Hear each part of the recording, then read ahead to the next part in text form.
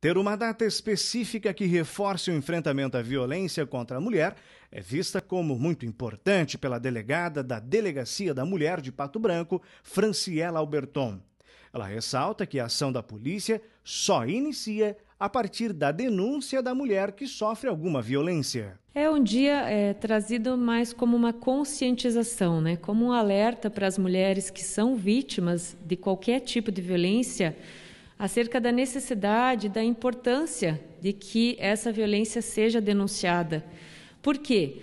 Porque a, a, não denúncia de uma violência gera um ciclo de violência. Um relacionamento abusivo não denunciado, ele tende a ser é, cada vez mais violento, a, as agressões é, tendem a ir aumentando e, em muitos dos casos, aí culminando no feminicídio ou numa tentativa dele.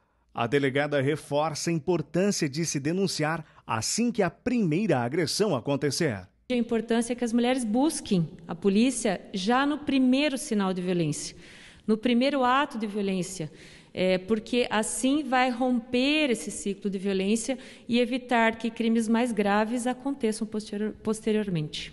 A Lei Maria da Penha foi criada especialmente para a violência contra a mulher delegada considera uma lei muito boa.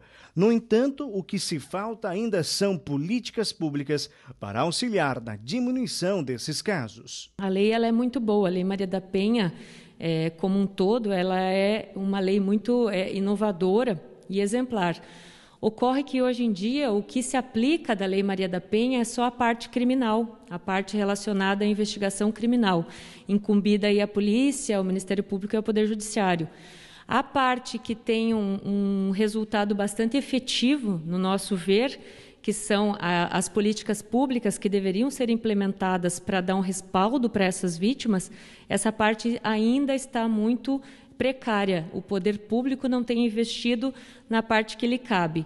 Os canais de denúncia são vários. A denúncia da violência de gênero pode ser feita tanto pessoalmente na Delegacia da Mulher, através do, do 190, que é da Polícia Militar, via 181, que é o denúncia anônima, e também através do Disque 100, que também é uma forma de denúncia anônima. Todas essas denúncias são encaminhadas para a Delegacia da Mulher e nós vamos apurá-la e buscar de maneira ativa comprovar se essa violência está ou não ocorrendo. Em homenagem ao Dia Estadual de Combate ao Feminicídio, a Delegacia da Mulher foi presenteada com três quadros, pintados pela artista pato-branquense Letícia Sokolowski. Cada quadro representa uma fase da mulher que sofre violência. Toda a equipe ficou muito emocionada com esse presente encaminhado por uma artista aqui local. São aquarelas que ela pintou e, segundo ela explicou à equipe quando nos presenteou, quis demonstrar a questão da mulher. A mulher que se submete a permanecer numa relação abusiva é porque ela não está por completo. E quando ela abre os olhos e se percebe que ela é por si só o suficiente, que ela não precisa ter outra pessoa ao seu lado para ser inteira, aí ela se torna inteira. E assim ela consegue sair desse dessa relacionamento abusivo e viver sua vida de uma maneira muito mais feliz. Esse presente que foi encaminhado para celebrar esse dia não poderia ter um significado mais bonito que isso.